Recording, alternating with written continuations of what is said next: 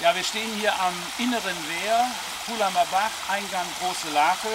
Hier wird das gesamte Bachwasser aufgeteilt, geht in zwei Richtungen.